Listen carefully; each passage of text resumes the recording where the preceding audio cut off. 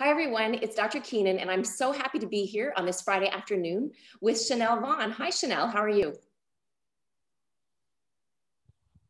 Hi, Tiffany. I'm good. Thank you. Thanks for having me. Wonderful. So, Shanell, you're coming to us from Bermuda. So, can you tell us a little bit about yourself and how you've been making out this past little while with the, the whole stay at home situation? Sure. Um, I am a Bermudian, yes, and I teach yoga. And I also um, been teaching yoga for about 12 years now. And I'm also an energy work therapist. So I see clients one on one for um, various things anxiety, stress, um, physical conditions, um, different things. And um, so I've been, like many people, in shelter in place for a while.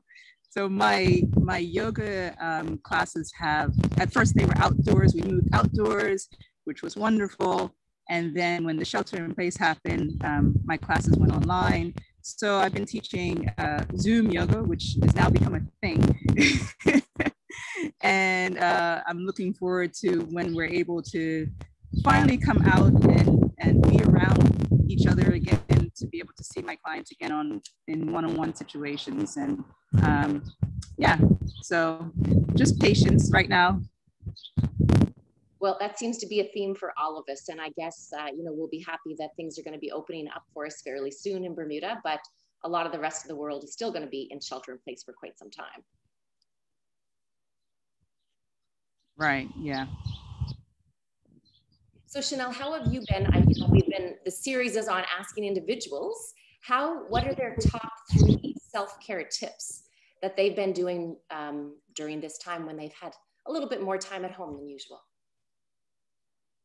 Yeah, well, that's I mean that's been one of the the blessings to come out of this, and um, for me, um, my top three, my number one tip for my personal sort of self care has been to go deeper into my own um, morning spiritual practice.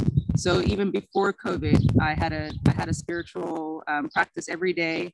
Um, well, most days, and uh, and so since since uh, the shelter in place, we've had more time um, to go a bit deeper into that. And for me, that's that's been really important to just have something um, that sets the tone for my day, that kind of creates a foundation so that, you know, whatever happens during the day, I'm able to, you know, hopefully weather it a little bit better.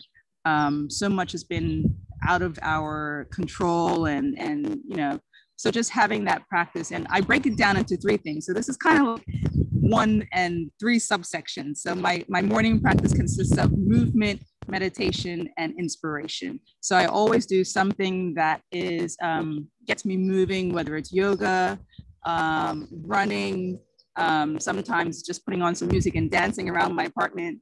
Um, just something to, to get my body, get my physical body moving. And um, and then also meditation is a big part of my of my daily practice. And um, it's just so important. I know people are, you know, um, some people are more comfortable with like mindful, mindfulness practices, but it's so important to um, create some time and some space for, for stillness um, and to go within and to be able to listen to your own inner voices. So much, you know, noise happening in the world right now. Um, so just to take that time to just quiet the mind is like so important. And then the third part of my one is inspiration. And so I always include in my morning practice some kind of uplifting reading or um, maybe I'm listening to a, a, podcast or something like that, something that's going to uplift me and that I can refer back to during the day. Like, oh yeah, I remember I read this, you know, or I heard this, and it's just it gives me sort of a touchstone um, for for my day. So my number one tip is if you don't have a practice established already, is to establish a morning routine um, because it just it it just helps you to kind of keep your um, to, to create a good foundation for the rest of your of your day. You know, start you start up here. um, and then my second tip. So this is now to my second tip for managing uh, COVID what I take in, what I ingest. And I'm not talking about food necessarily, but like media and um, you know what I watch on television. I don't have a television, but I have Netflix. So what I'm actually ingesting into my mind, I filter very heavily. Um, I don't watch the news. Um, I figure the things that I need to know will I will hear by word of mouth or osmosis or something. And um, so I really try to keep as much um, negativity away from my mental space. So I really um, am very vigilant about that. Um, so filtering social media, filtering, um, you know, news, filtering, um, uh, you know, television, movies, that sort of thing, keeps helps the mind actually to keep an equilibrium. So that whole practice of meditation um, can be can be easier easier to access if the mind is not so cluttered with with negativity. So that's my second tip is to filter. Because uh, there's a lot of there's a lot of stuff out there right now and it's not all of it needs to be ingested. Um, and then my third tip is um, even though you know we're in this shelter in place and and um, social distance, distancing has become um, something that we're very familiar with it's important not to isolate. So my third tip is connection. However, it you can, you know, to find someone, uh, one, you know, a best friend, a partner, someone that you can talk to, someone that you connect with, to share your um, your feelings, your fears, your thoughts, your joys. Um, you know, if if you're sheltering in place and if you're living by yourself, make sure you're not isolating because connection is is so important. We're humans. We need that connection even if it's doing it this way you know through video or or text messaging or you know pick up a phone and call someone uh, which i know is, is quite a novel idea. But um, you know just something just something to stay connected um, and not to isolate is is really important. So those are my three top things is um, deepening my morning practice and um, filtering what I ingest mentally and staying connected. Well, it's wonderful to hear that, Shanell, you know, and I know personally those are all part of my practice as well. And so thank you for sharing what really works for you. And this is all about giving people a few tools, right, that they can use that maybe that connects with them, maybe things that resonate with them as well.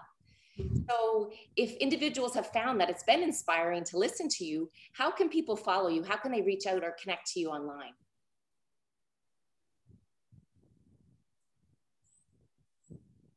Um, sure, they can. Um, my website address is uh, www.healingyogini. That's Y O G I N I.com.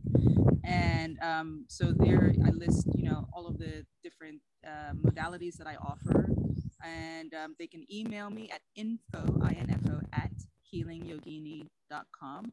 And they can follow me on um, uh, Facebook uh, under Shambhala Bermuda. So that's S H A M B H A L A Bermuda. And what's the other one? Instagram. Instagram, um, Instagram is Healing Yogini. Healing Yogini underscore Bermuda. They can find me there as well. Well, thanks so much, Shanell. It's really been a blessing to see you again. I really hope we can get together in person very, very soon and uh, continue to shine your light in Bermuda. I think everyone needs to see it right now. Me too. Have a great day. Uh, thank, thank you. you so much, Tiffany. You too. Take care.